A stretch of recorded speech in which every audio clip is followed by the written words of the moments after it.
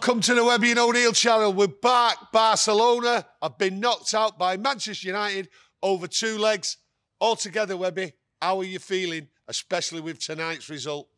Great second half. You got to give the manager all the plunge that he needed changing. He changed it about, and we looked a better team in the second half. Yes. You know, and that's no disrespect to Barcelona, but first half getting too much room. Busquets was running the show. We couldn't get near him. Class player. But then the manager's at half time. Who ran and ran and ran and ran, and he'll do it all day long for you. It wasn't working. He's changed it around, and the second half tells you everything. I, I- I made comments about that first half in my video about Bruno in that first half. I said he should have scored. Oh yeah. okay? And it was a ridiculous penalty he gave away. You have to take your chances, surely, Webby, against teams like that. Yeah, I couldn't believe how much space he got in for that chance he had right at the beginning. I'm thinking, I was waiting, ball? I- yeah, I was waiting for the fullback to just appear out of fresh air yeah, and yeah. chop him down, but no, he's got to score that. It was a poor effort, and the penalty. Obviously, I'm at the east stand, so I couldn't see. I've seen the incident on telly since they've got back, and it was a penalty. But we've come back against a team who were eight or nine points clear of the top of the league. Yeah. You know, and we've seen what the second place team did to the best team forever from Merseyside the other night. So great result. You know, you look forward to the next round now. So Well, yeah, half well time played. come, Webby. I was screaming for half time for Ten Hag to change it. Did he make some good changes there? Oh, aye, yeah, you, you can't bald his best. yes. You yeah, know what yeah, I mean? yeah. So you can't fault him. So, you know, we needed something to be done because at 1 0 for them, they get more and more confident. You know, we know what they like playing the football around.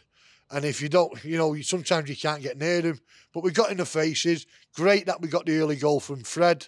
You know, I was in the ground there before and pe- people was giving me strange looks. So, Go on. you know, I had, this Why, why, little what was that? What, on. you give you getting strange looks. I had that on. Oh, Fred. Fred.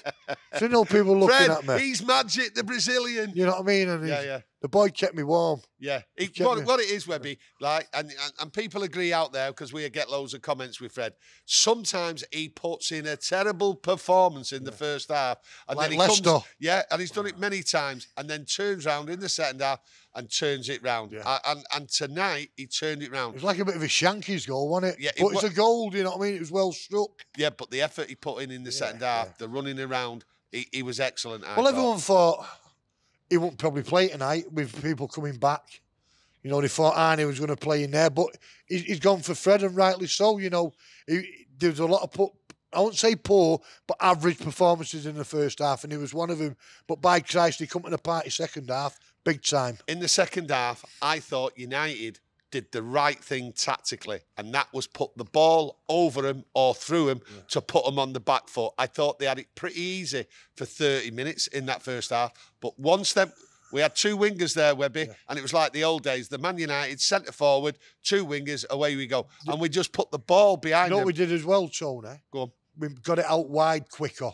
First half was dilly dallying with it, but second half it was a ball in the midfield, control wide either side, and it upset their room because if you look in the first half, both of their fullbacks are flying on because we were too too slow Yeah. with the rotation of the ball. Second half we got the ball, we got under control. Casemiro bang, Bruno bang. Good night, God bless. I, I, I look at that back four tonight and I thought they were absolutely colossal. Yeah. Right. I, I looked at Shaw.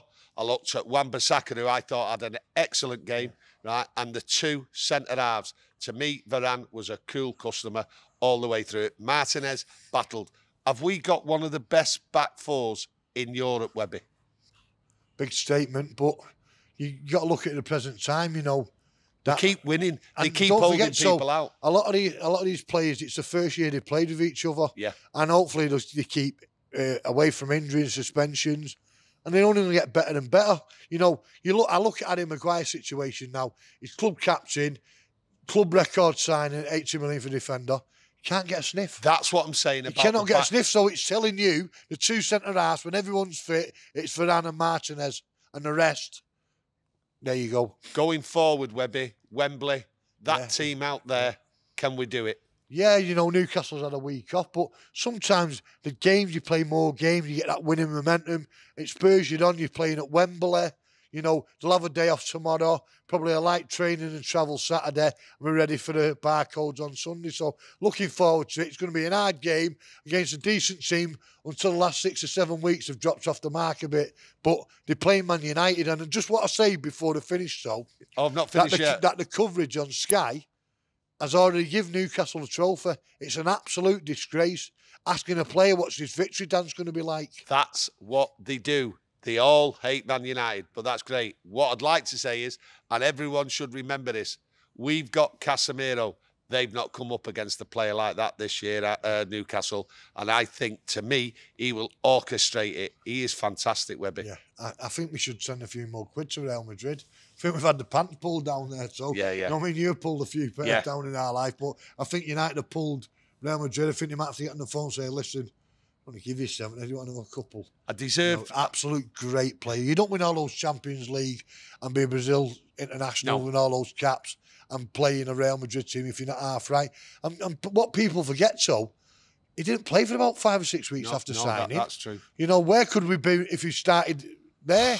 You know what I mean? And fair play to him. He's a main man.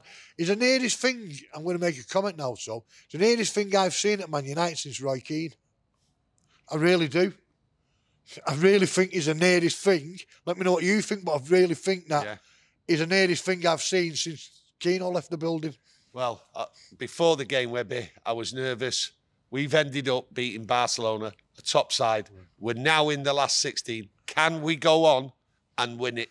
Well, who scares you in there? No one wants to draw Man United. No. Nobody wants to draw Man United in this in this current situation. You know, I look at there, and Newcastle. So West Ham might not have a game week and they play us Wednesday. They probably have game. They won't be looking forward to coming here next No. Wednesday. Nobody is. This place is is remind me of what it was like under Sir Alex, a fortress. I'm not saying just tonight, but I look at teams like the 2 0 down before the a ball's kicked. You know, and for years we've had teams coming here and taking the piss out of us. Yeah, yeah. And they have Yeah. you know, going away, little crappy teams beating us. But now, hopefully, it's back to what it used to be. Yeah. Well, I'll say, I'll tell you this before we go. When a team is winning, it doesn't matter how many games they play, does it, Webby? You carry on. so Right? It doesn't matter. Right? They will keep winning and look forward to it. They won't feel the fatigue. They won't feel the little niggles. They will want to be on that pitch because they won't want to lose their place. And Fred, the second half wonder, because that's what he keeps pulling up with, was fantastic tonight, like the rest of them. But I've got to give plaudits, Webby, to Ten Hag. He sorted that team out at half time. And listen, Man United, we're through, aren't we, Webby? Yeah, and you, you can't say you. We can come in here game after game and we we we bigging the manager up, bigging the manager up. But Christ, he deserves it. But he's fantastic, He's coming to a club what was Yeah. in turmoil. Yeah. He's got rid of one of the worst things. Uh, which was allegedly destroying the club in Ronaldo. He's come out of that smelling roses. He's handled the Maguire situation perfectly. The Jadon Sancho, because a lot of managers would have gone to Sancho. Hang on a minute, you're on this, you're on that.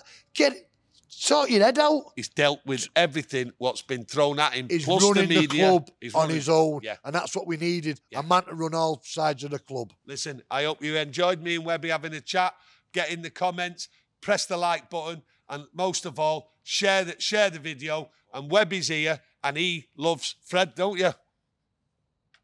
Come on, United!